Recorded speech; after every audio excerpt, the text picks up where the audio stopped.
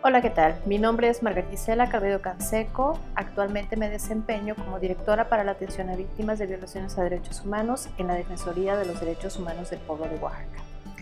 El día de hoy les voy a hablar sobre el reconocimiento de la calidad de la víctima, toda vez que es un tema de iniciación en el cual es importante que cada uno de ustedes conozca.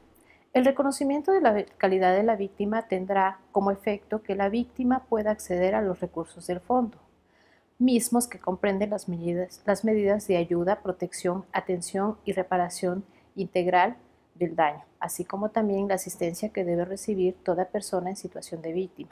Esto se enmarca de acuerdo a la Ley General de Víctimas en su articulado del 130 al 150, así como también su reglamento interno en el cual prevé cuáles son los mecanismos para dar cumplimiento.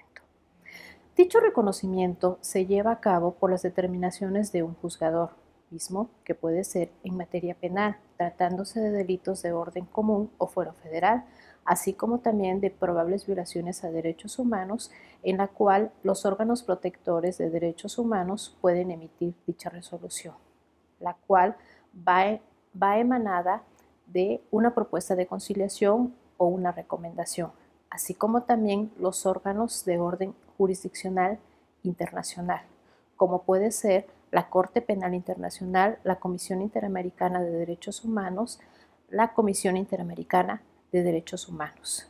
Es así que para tener acceso a los recursos del fondo es importante estar inscrito en el Registro Nacional de Víctimas, lo que se conoce como el RENAVI, mismo que está a cargo de la Comisión Ejecutiva de Atención a Víctimas, quien se encargará de dar el seguimiento pertinente a dicha petición. Gracias.